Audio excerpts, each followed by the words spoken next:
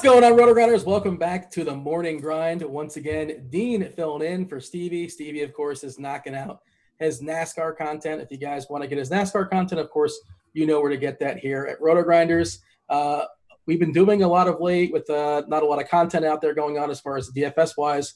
Uh, just having different guys on and doing DFS personalities, DFS origin stories. Today, we have actual DFS content. I should say, uh, go back and check the archives. They're evergreen. You can listen to Kevin Roth, who was on a couple days ago. We had uh, Rusty Nuts, uh, Grant Neefer, Beer Makers fan, Head Chopper, Fast Eddie Fear, a whole slew of people. You can check it out on the podcast feed.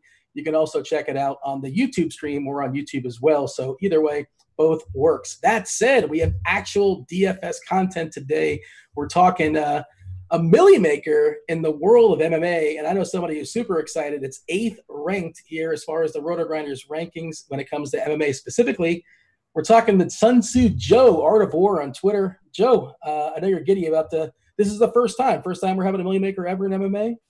This is the culmination of five years of MMA DFS as the red-headed redheaded stepchild to all of DFS. This is uh, the moment that we we we revel in glory. And look, I am going to do my best to win it. But if I don't, I would really love for one of the core group of, of MMA Twitter guys uh, to win this and not like you look nothing against the high volume the year type players like yourself and you know you know the names of the guys who I'm talking about.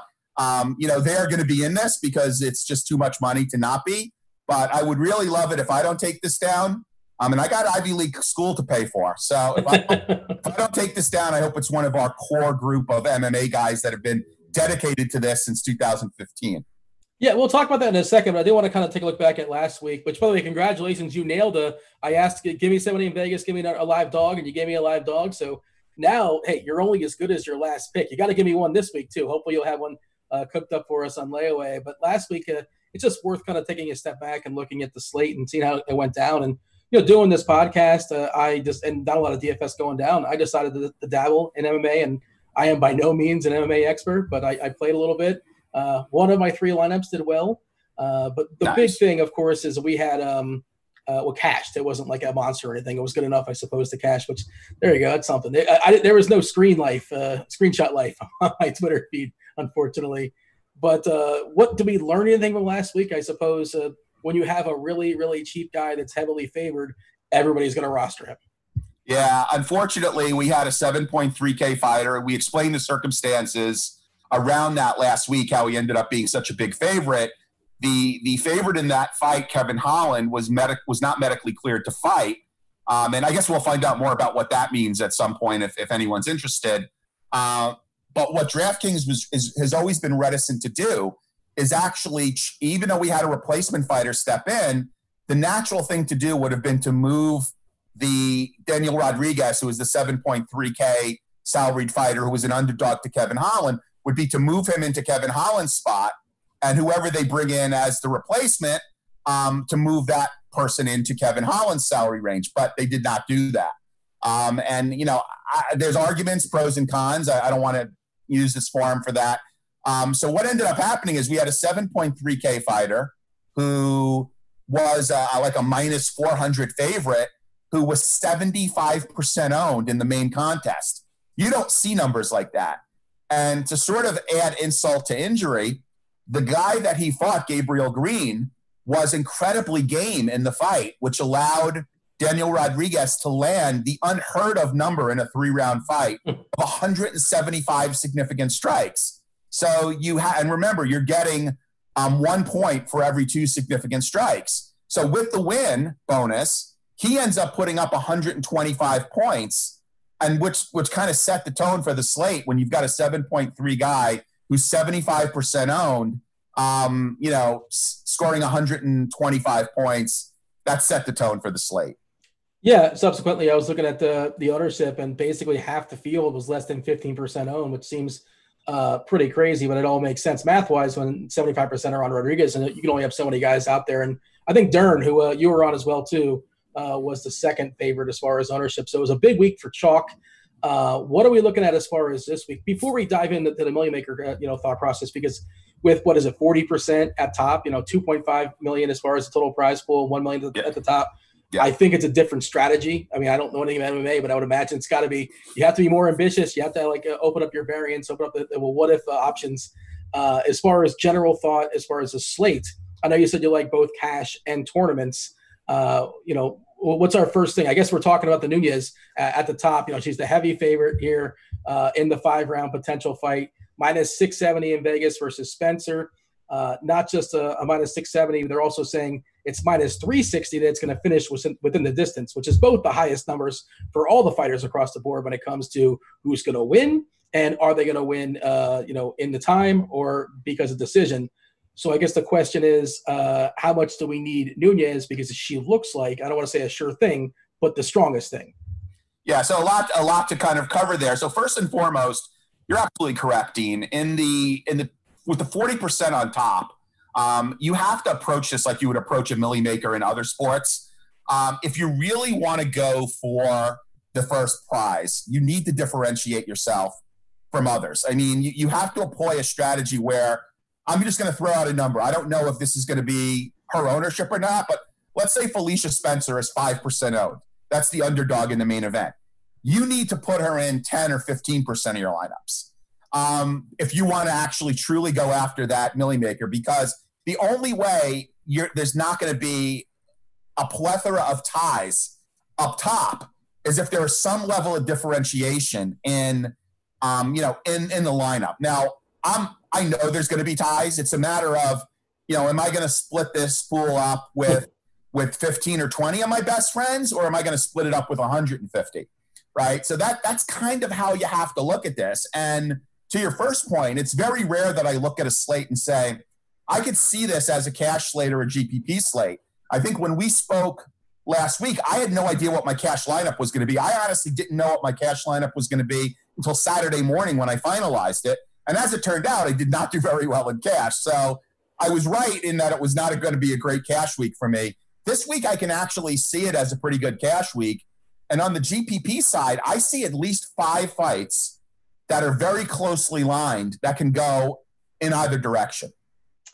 Uh, from a cash game perspective, do you have to put Nunes in? I assume you do. Uh, you know, I think you've got to play Nunes. I mean, I think there are enough, um, enough mid-level priced fighters that have an opportunity to win as an underdog that you don't have to do what they call a stars and scrubs lineup. You know, which is essentially like like top load um, two people and then kind of just like bottom fish. There, it's a really interesting card, Dean. You've got two veterans who have been off for a while, who are coming back to fight younger fighters, like up and comer prospects that the UFC wants to push. One of those veterans, I feel, has a legitimate chance to do well, if not win the fight. Um, you've got a number of fights, like I said, that are pretty evenly balanced. Um, you know that I would I would be shocked if there was big wide line movements in these fights. Um, so I see that there's some variance here. Um, and, and in terms of getting Nunes, and actually my favorite play, um, because of you know being being at a better price point, is Alonzo Menifield. Um, I like Menifield a lot here, and you know he has the potential if Nunes doesn't um, finish this fight early, or if she doesn't get a lot of grappling points or significant strikes, I could certainly see Menifield potentially outscoring Nunes. So you can certainly put a lineup together with um, Menifield and Nunes um, and not have to dive too deep. Menifield uh, minus 240 according to Vegas, and uh, as far as if that fight's going to finish within the distance, basically they're saying it's not at minus 278. So uh, no, I, I think it, I think they're saying it is. My, oh, did I flip it? Yeah, my, my apologies. Yeah, yeah that's yeah. what I meant to say it, but I, I flipped it in my head. So uh, they're saying that Menifield's going to knock him out, most likely. Dude, I just I just had a hot flash because I'm like, oh my god, I, I really misread this. I didn't look at I, I didn't look at the line, but I couldn't believe that those would be the actual odds. Um, no, good. I'm glad we straightened that out. Yeah. So I like Menifield a fair amount. He's always had a hard time getting fights. No one really wants to fight him. So even though Devin Clark is game, he's got some wrestling chops Devin Clark is good until he hits a certain level of fighter. They call him the Brown Bear. He's been in the UFC for a couple of years. Um, I, I, think this is like overshooting his skis here. Um, I see Menifield getting a relatively easy win and potentially outscoring Nunes. Um, I really do like him. I think he's a really solid play in cash. If you don't want to pay up that extra money for Nunes, or if you want to combine him with Nunes and then do a little bit of of mid range or, or mid lower tier fishing to fill out your cash lineup. Uh, Nunes is 9.4K, Menifield is 9K, and then in between them is uh, Stenham, uh, I'm sorry, Stamann and O'Malley. And O'Malley specifically is the second biggest favorite on this card, minus 455, uh, and is also heavily favored, uh, minus 235 to finish this fight. You know, within the first three rounds as well too. Do you like Merrifield? I'm sorry, Menifield more than O'Malley? I do, and and it's it's again, thanks for the perfect lead. Um, we're really in sync here. So I mentioned earlier that there was one veteran that was coming back that I thought had a reasonable chance to do well, um, if not win the fight. And that veteran is named Eddie Wineland. Um, and he is fighting Sean O'Malley. Um, Sean O'Malley, the Sugar Show, um, came back after a USADA suspension for um, partaking in the devil's lettuce. Uh, so he was on suspension for a while. He came back and they lobbed him an incredible softball. Um, and did he not? He did he look good in that fight? Absolutely. Um, Eddie Wineland is is is a savvy veteran. Um, you know, was competitive in his fights before taking some time off. Um, you know, I think he might be either a full time fireman or something. I, I don't want to mix my I don't want to mix things up here, but um, he you know he has come off of layoffs before and performed well. And I see this as a huge step up for Sean O'Malley. Now, I'm not saying that Sean O'Malley doesn't have a chance here. I'm just saying that I think at his price point, um, you know, Eddie Wineland is very live. And I think from a safety perspective, I'd be a lot more surprised if Devin Clark was able to beat Menifield or Felicia Spencer was able to beat Nunes than Eddie Wineland beating Sugar Shane O'Malley. Yeah, Wineland is 6.9K, Spencer the cheapest on the board at 6.8K. And just jump back for a second as far as the, the main event with Nunes versus Spencer. Uh, are we playing? You talk about the, the prospect of playing Spencer maybe 10% or so, or maybe just double whatever the projected field is as far as ownership. Yeah. Uh, would you pair Spencer with Nunes in the hopes they slug it out for five rounds? I think that's going to be hard to win a GPP. Yeah. I, I don't even know because I see some value in other dogs. I don't even know if I would look at that as a cash play. So um, I think I'm gonna. I would go naked Spencer, no pun intended, um, you know, or Naked Nunes, no pun intended. Um, you know, let's talk about Felicia Spencer a little bit, okay? Felicia Spencer is a natural 145er. This is Nunes defending her 145 belt. Nunes is a dual belt holder. She holds the 135 belt, which is the bantamweight belt, which is a much deeper division, and she holds the 145 belt, which is not a very deep division. There's not a lot of women's fighters in this division. She won that belt by kind of shocking uh, Cyborg, who everybody seems to know, um, and finishing her in the first round. Um, it's hard for either of these ladies to get fights in 145. Felicia Spencer is Canadian. They call her the Phenom. She has got a very good broad based wrestling game, not a super great striker, but is really good at wrestling. So the idea is, and again, I'm not saying that it's practical in any way, shape, or form, but Nunes has had some issues with cardio in the past. Um, Felicia Spencer, she clearly lost against Cyborg, but she went the distance with Cris Cyborg. Not many people go the distance with Cris Cyborg, and she might have even cut her up. Um, she might have landed a shot. It's like that that you know Rocky versus Ivan Drago when he hits him with one punch and there's that little drop of blood, and and the and the manager goes he bleeds, he bleeds. So like I was kind of thinking the same thing when I saw her kind of like cut Cyborg. Um, so uh, look, I am not, you know, advocating for Spencer to win. I'm saying that if you are chasing um, a, a million dollar prize in a GPP that has multiple thousands of entrants in it, that you're going to have to do something that differentiates yourself. Yeah, I mean, look, I'm Joe Public. I don't know a heck of a lot about MMA, but I do know I'm aware of Amanda Nunes. I'm pretty certain she's like the best MMA fighter of all time from a female perspective, and I know that she beat Cyborg. I know she beat Rousey. I know she beat Tate. Uh, Holly Holm, I think she beat as well too. So maybe that you think that that's kind of baked into the line because Vegas knows that hey, I know who Nunes is. I've never heard of Spencer. I think she's going to win. Uh, is that is that the accurate number minus six seventy, or you think a lot of people tell you they think the number should be higher? You okay. know, there are people who I respect who think the number should be higher. On the other hand, I have seen a few, much fewer tweets where people are kind of saying, yeah, I could kind of see a path to victory for Spencer if this perfect storm scenario works out and um, you know they they they they spend most of the fight on the ground and towards the end of the fight uh, you know Nunes's cardio starts to get a little weak. I mean, she's actually in the past had like a breathing problem, like she would wear those those bandages that kind of open up your airways and um, you know she's actually canceled the fight in the past before for that reason. Um, but I, you know, again, it's it has to be a perfect storm scenario, and and you know, again, I don't necessarily see it happening, and there may be another way to win. You know, to, to at least place highly place um, in the million dollar and the million dollar contest, but I think a lot a lot of different things would have to happen, um, as opposed to I'm pretty certain that if if Spencer wins, that's going to eliminate 60, 70% of the lineups. Um, so then you've got 30 or 40% of the lineups, depending on ownership, left, where you only need a few different variations of outcomes to occur um, in order for you to be very competitive um, in that contest. If you're making like 100 different lineups or 50 different lineups, whatever, for the Million Maker, I would imagine you probably make similar lineups and just make one with Spencer and one with Wineland. Is that something you do? I would, I would do something like that. I mean, um, absolutely. And I am putting 150 lineups in. I mean, I'm fortunate enough to have, and, and I still have an opportunity to win a few more tickets, but I've been playing some esports and, you know, the UFC actually, even the past few UFC events, you had an opportunity to win um, satellite entries. So I have about 60 plus tickets that I have banked. Um, so I'm going to try to bank a few more, and then obviously I'll just make up the difference in cash but I'm going to put the 150 in.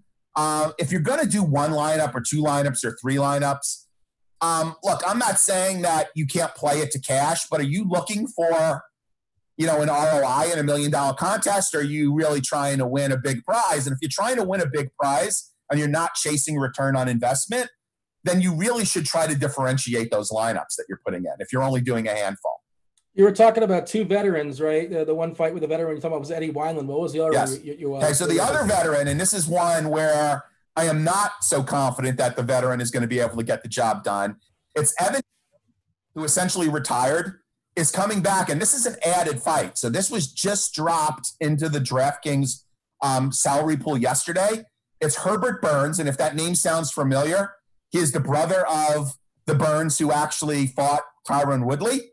Um, and he is coming and he is um, he's much less experienced, but he is coming off of like a really impressive knockout victory of Nate Landwehr. Um, and he's taking this fight relatively short notice. Um, Evan Dunham is kind of coming out of retirement to to fight him. Again, this is another prospect versus veteran fight. UFC is obviously, well, maybe not obviously, but is is looking to promote the prospect.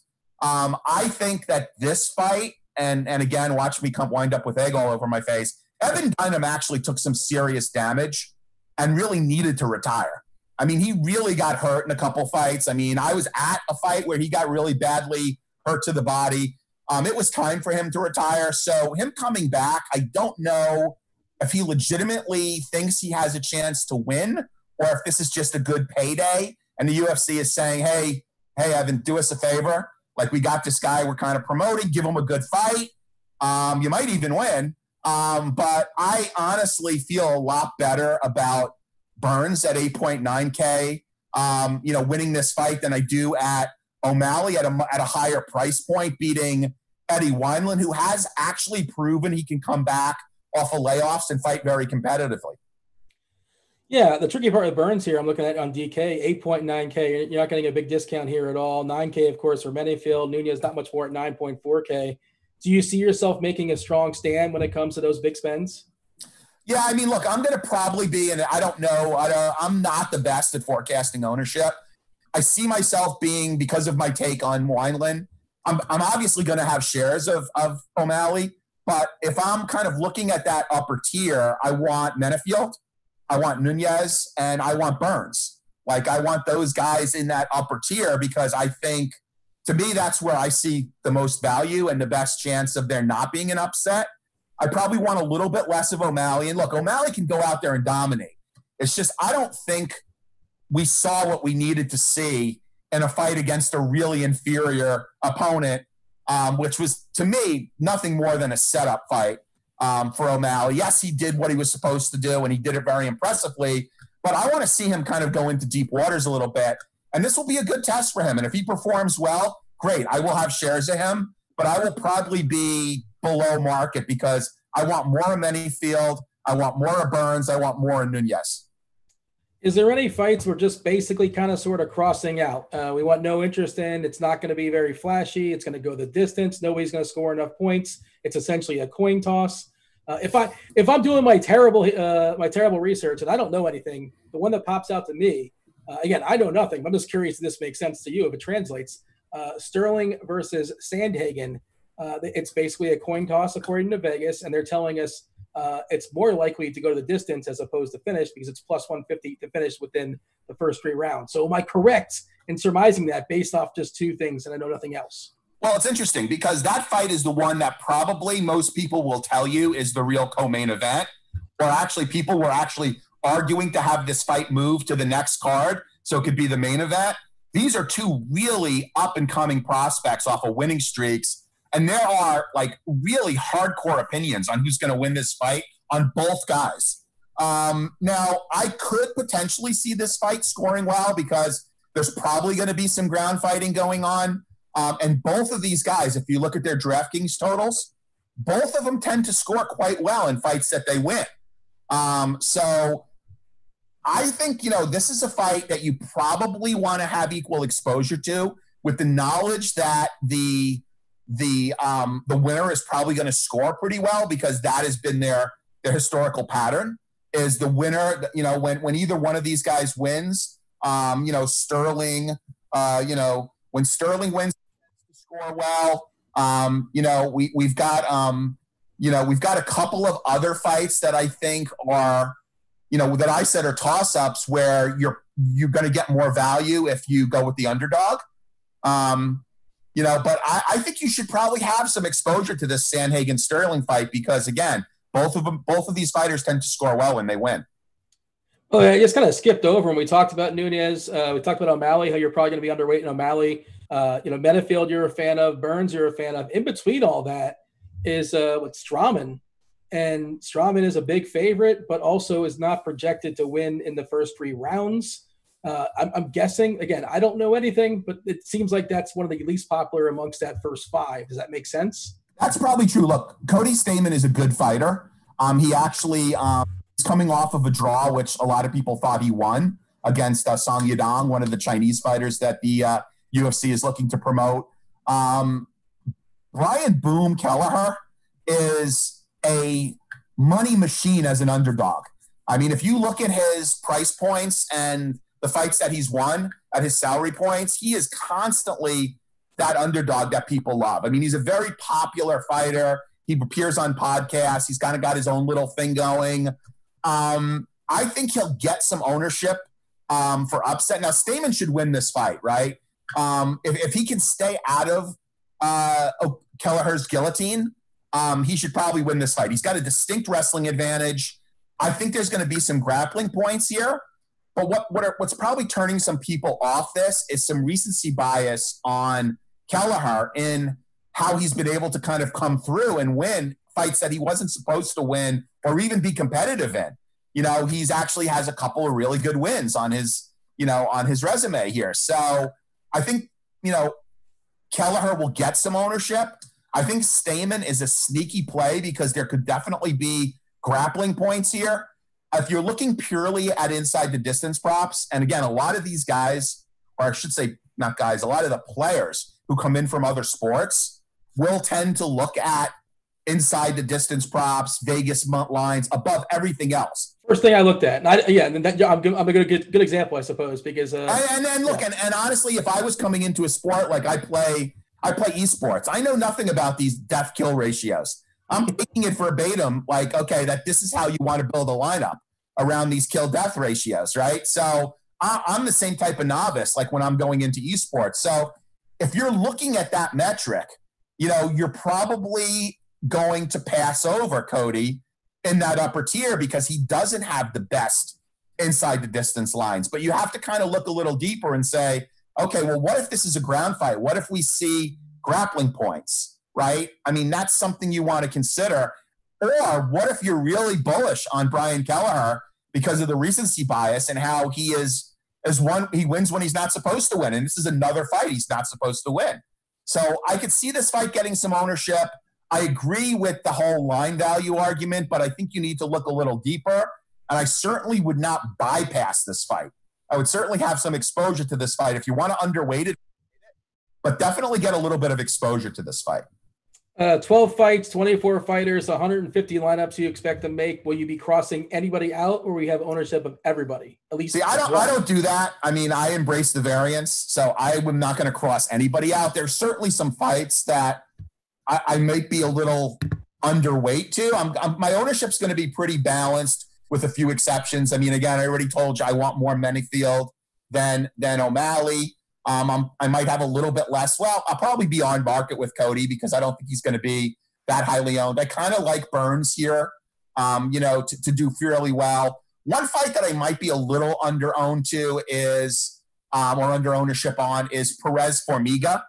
Um, these are are you know 125ers. Um, you know, you have a a veteran who has fought the best of the best is coming off of a few losses against a uh, you know an up and comer who's younger, who's has an impressive record, but has really not fought any comp- anybody good or anybody really good. Um, competition wise, these guys are light years apart. Um, you know, experience wise, light years apart. Perez is the favorite in this fight. Um, I think at the very least, even if you like Perez to win, I, I would be hard pressed to see him finishing Jussier Formiga. And Jussier Formiga while he might be at a wrestling disadvantage, his Brazilian Jiu Jitsu is elite.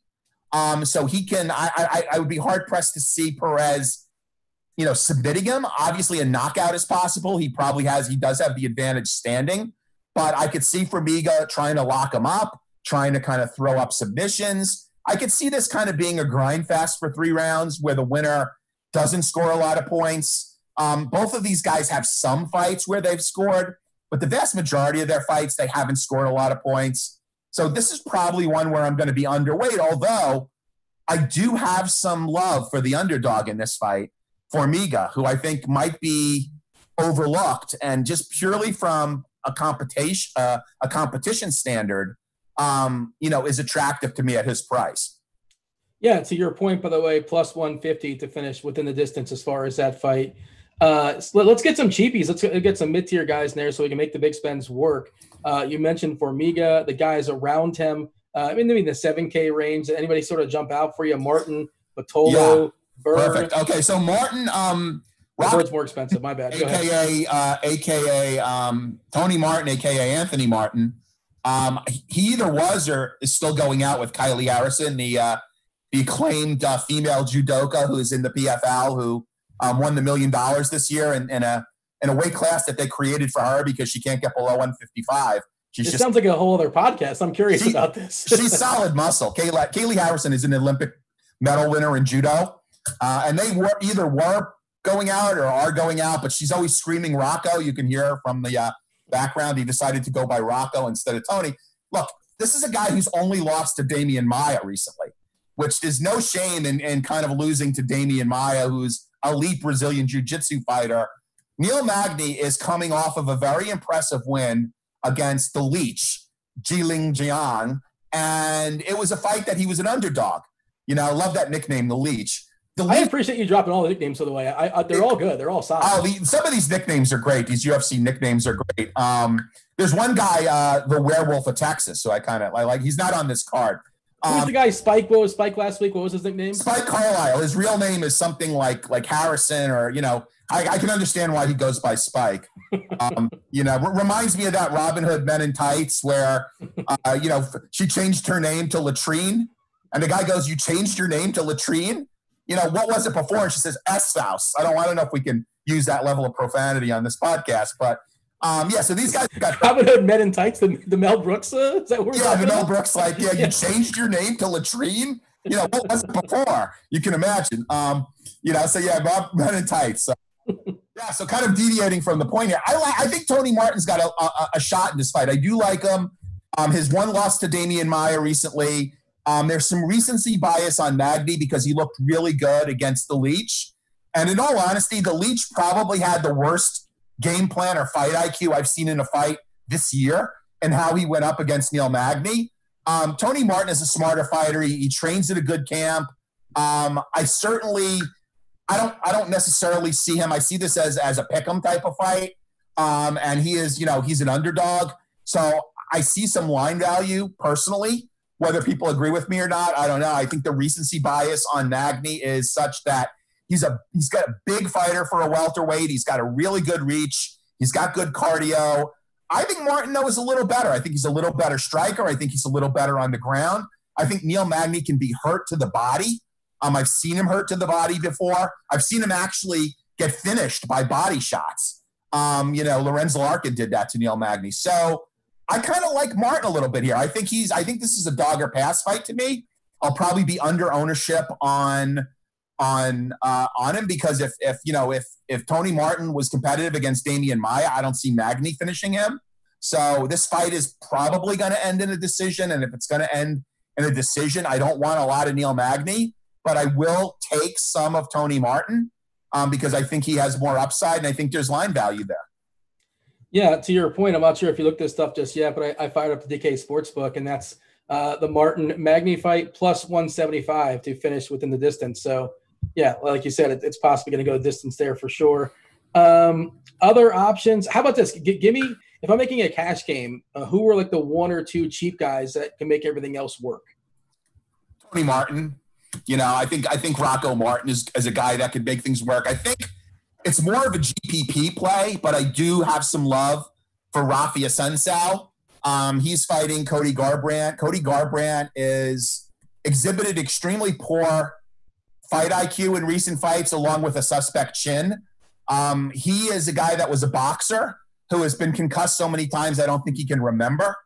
Like, you know, this is a guy I don't want to fight, but I'm pretty confident I could beat him in a spelling bee. Um, you know, he he's taken a lot of damage in his career. Um, I just like I think Rafi Assunção has fought the elite of the elite.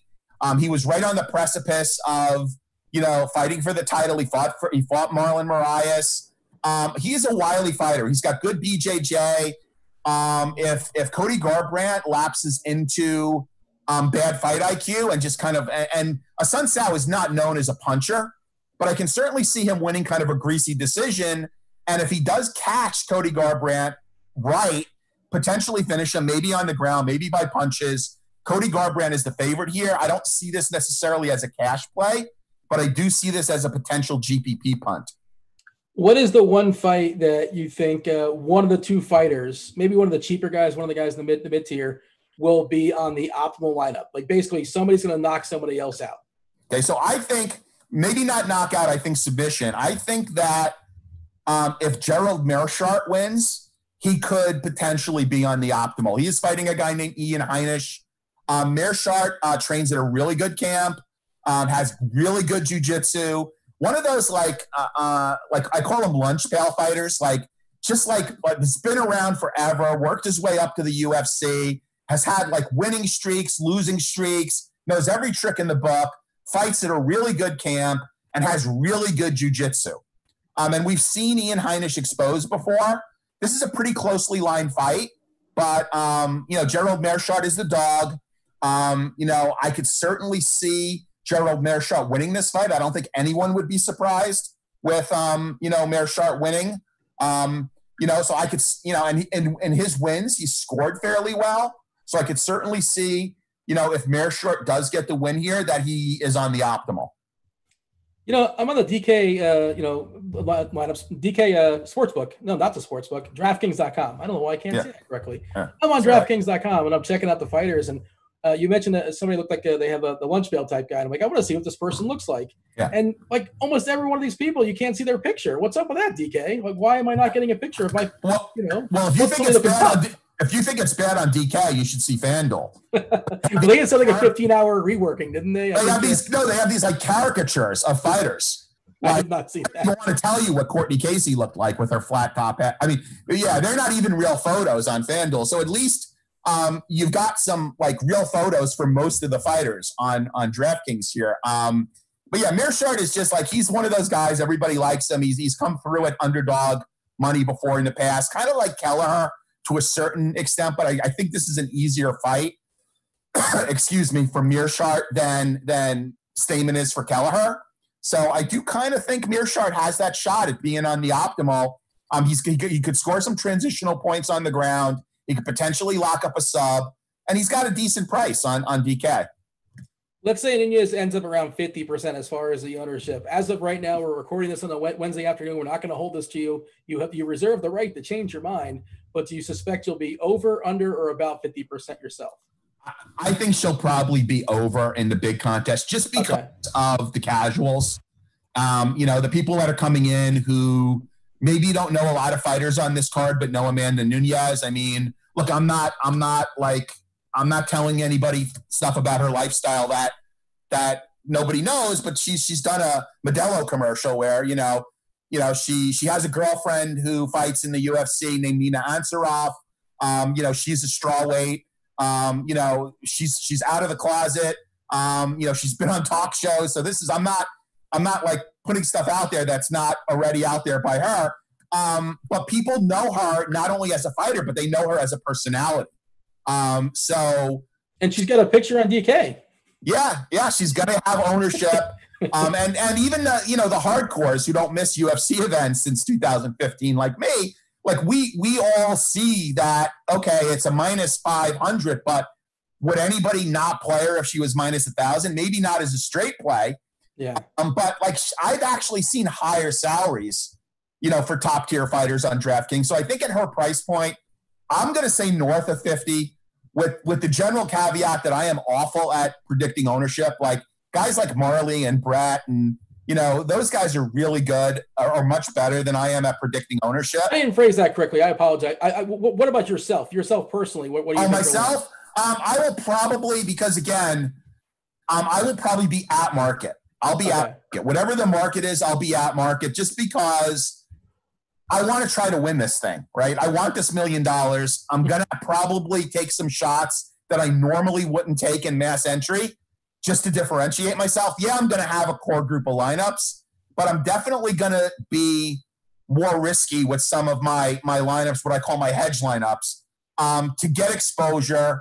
Um, I'm going to leave salary on the table. That's the other thing. You've got to leave salary on the table because when people build lineups, it's almost human nature or intrinsic to actually use your salary. And if you see two fighters and um, that are left, and you can get the higher priced one, you're going to gravitate towards that higher priced fighter because you think somebody must know something to make that person higher price. It's the same in all sports, right? I would say go against that and take the other fighter, at least in a certain percentage of your lineups. Or especially if you've done your research and you feel that the that the lower priced fighter is a better play, don't let the salary, the fact that you're leaving salary on the table, talk you off of making that play. Because, you know, leaving salary on the table is the way that 200 people are not going to carve up this this contest or more. Are not going to racing variance, right? Uh, what, what is the most you're willing to leave? I, I, you know, it's funny because people ask that all the time.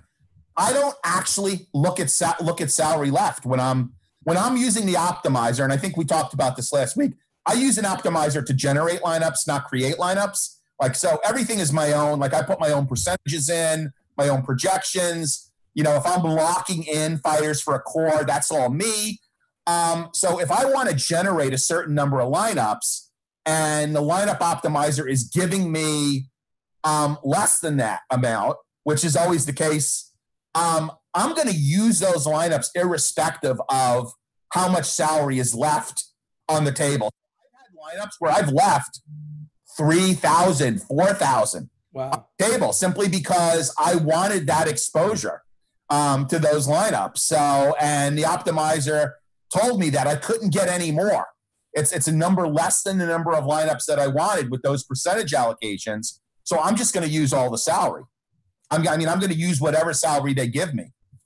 Give me your favorite fighter on this slate when you consider asking price, when you consider upside, when you consider what you reject as the ownership.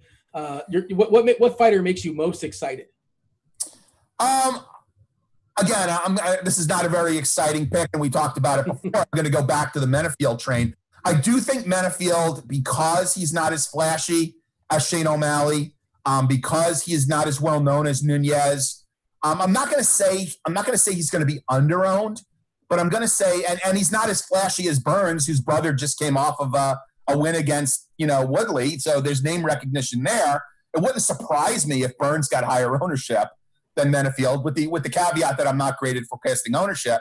Um, I like many Menifield. I really do. I like him a lot here. I think um, I'm not saying to necessarily pivot off of Nunes. I'm just saying that you should have Menifield represented. Um, it's a well-known fact that he has a hard time getting fights. Um, not a lot of people want to step up and fight him. Um, I think this is a good fight for him. I think stylistically he should do well. I mean, we know what Devin Clark's ceiling is in the UFC. I would be really surprised if Devin Clark gave him a lot of trouble. Um, probably not, you know, I mean, he's not the dominator maybe that that people see Nunes as, and I think for that reason, he's not going to garner the same level of ownership. So I will probably have at least the same amount of lineups with with Menifield as I will with Nunes.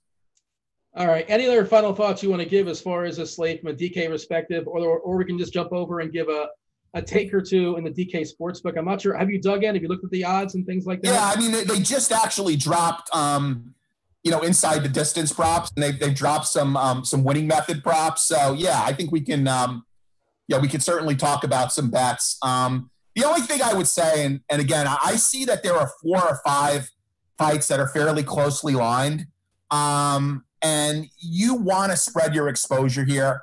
Um, you know, if you're doing mass entry mass entry and you're trying to you know win a, a sizable prize in this contest that there's a lot going to be a lot of entrants in you're going to need to spread. And you don't need to play those lineups in, in the in the 20 max or the 3 max i mean you want lineups that are designated to differentiate yourself in this contest you know so take on a little risk don't be afraid to leave salary on the table um, and look good luck i mean look it's not the worst thing in the world if you have to divide this up with 100 people, it's still a pretty decent day's work. Um, and I, I, would honestly be very surprised if one person won it. I think it's just a matter of how many people are going to split it up.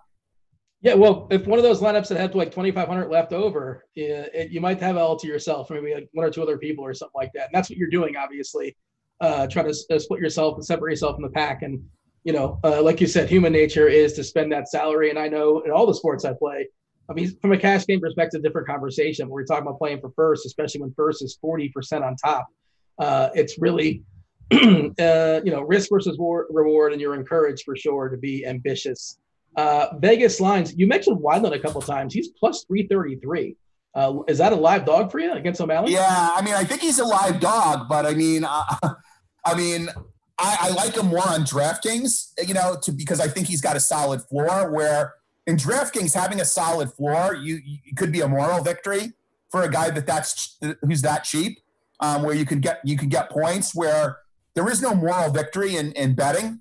Um, you know, you're either going to win or you're going to lose. So I don't know. I mean, look, maybe I, will throw one of those hail mary parlays that I, I kind of like to do out there, where I I throw some dogs that I think are live and and you know look to get a lot of leverage. You know, in one of these parlays. Um, you know, otherwise, you know, I don't know that I would I would necessarily bet them straight.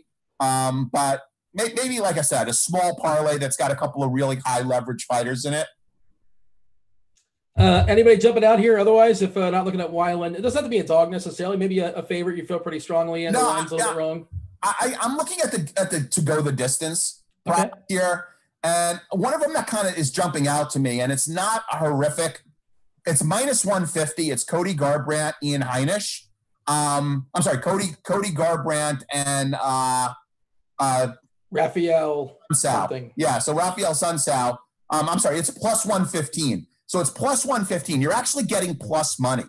Um, Cody has got Cody has got solid boxing.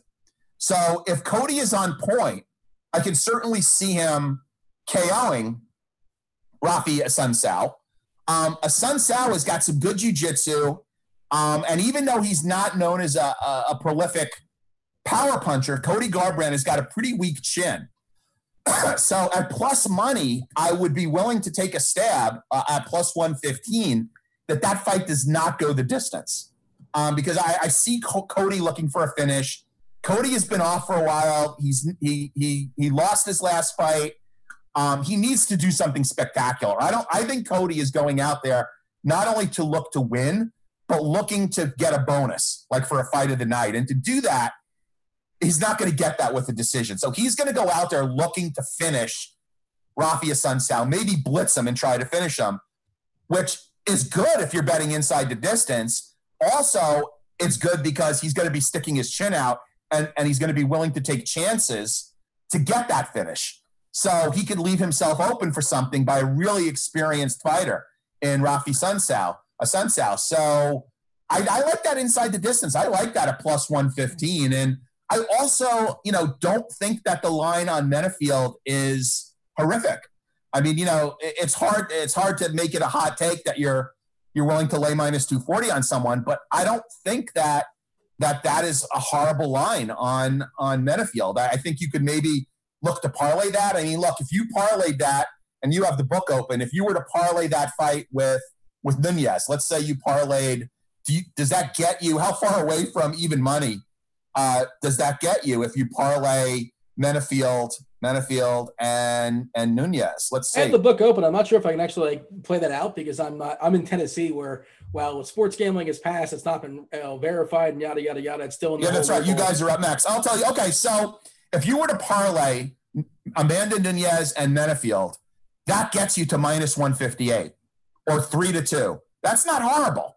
Yeah. So, you know, and if you want to actually throw a third fighter in there, like let's say you you know you like you like Stamann or you like um, you know O'Malley. If you like one of those guys, you could certainly throw one of those guys in and let's say you throw Cody Stamann in minus 260, that actually gets you to plus 120. So you could take three fighters who've got reasonably good chances or or, or great chances to win, uh, and you're, you're you now got a plus 120 wager. I typically don't do that unless I'm super confident that all three guys are going to win. But I do kind of like, you know, the minus 158 by parlaying Nunes and Menifield because I am fairly confident and would be very surprised if both of those fighters lost. or if, well, I'm sorry, if one of those fighters lost. Um, so the minus 158 is not bad. But if you're looking for plus money, the under the, does not go the distance in um, in Cody Garbrandt, Rafi Assunção. Uh, unless there's anything else you have you want to say regarding this slate from a DFS perspective, from a gambling perspective, I know you're just now seeing a lot of it, you know, just dropping here on a Wednesday afternoon, so uh, it's hard to just drop on your before we, we, record, especially when it comes to some of these odds here. But uh, if you have any any last words, feel free to do so. Yeah, I, I, I have a little bit of advice here. Okay, so it often goes overlooked, but there is a TV slate that comes out that's offered up by DraftKings, and that TV slate usually includes um, the main card. Sometimes it actually includes like all the fights that are not on um, that are not streaming that are on pay per view. You know, it varies, but there is a TV slate. Last week, the TV slate included eight of the eleven fights. It's a separate slate for betting purposes. Um, honestly, that bailed me out, and uh, there are a lot of people that kind of blow through all their bankroll in filling contests for the main slate. So there are some really good contests in the TV slate, like, you know, for 20,000 the first, which is not bad for a day's pay, that or might have less ownership, less sharps in those contests because a lot of bankroll has been expended. I mean, look, if you don't have 60 tickets like I do and you're spending 100 and you're putting 150 lineups chasing the Milly Maker, right? That's a pretty sizable commitment at $25 a lineup.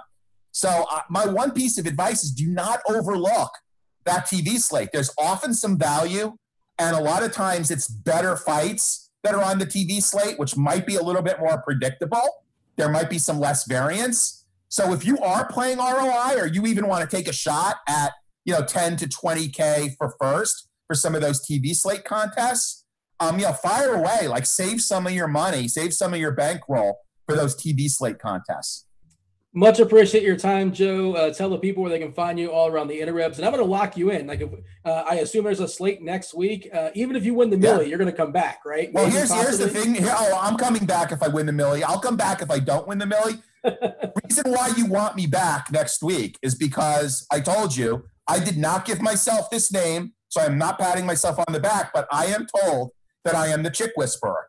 And there are a lot of women's fights on next week's slate, including the main event, which I have an extremely strong take on. And also, one of my favorite wrestlers, and you, you want to talk nicknames, the Raging Panda is fighting next week. Julia Avila, love her, solid wrestler, doesn't have a lot of striking. She's fighting next week. One of the least hard on the eyes female fighters in MMA, period. Lipsky Lipinski is fighting next week. You've got a lot of women's fights next week. I got a very strong take on the main event. Um, you know, people are going to be kind of like hung over from the Milly Maker.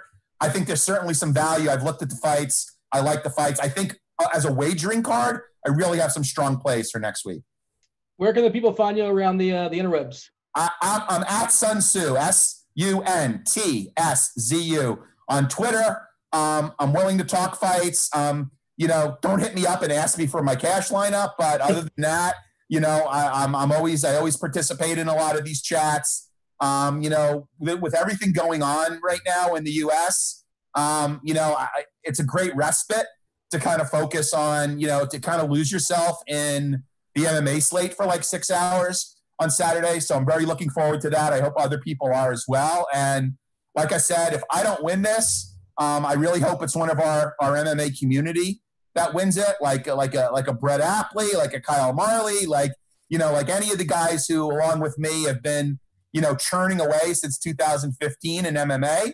Um, but I, I encourage people to play it because you never know. There you go. 25 bucks can turn into a million. That, that's good times for sure. Well, that's a million assuming you're not splitting it with your 100 of your best friends. And that's and we're not talking about taxes here either. if you're in Canada, I think you're in the clear. Well, in Canada, as long as you don't do it for a living, I'm told there are yeah. no taxes on on on gambling earnings. So as long as you don't do it for a living. We want to wish uh, you luck uh, in the Milly Maker and everybody else that's listening as well too. And if Joe, if Joe helps you out, let him know on Twitter too. And if he doesn't, uh, don't be kind. Look, I, I, I, I put myself out on an island, Dean. So feel free. I, I fully own up to to takes that I make, and uh, you know I'll accept the shout out for a right take. I'll, I'll take whatever abuse you want to hurl at me. Um, you are betting with your money, though. Let's let's be very clear. That's Sun Tzu Joe. I'm Dean. Uh, thanks for listening, everybody out there. This was the morning grind. We're out of here. Holler.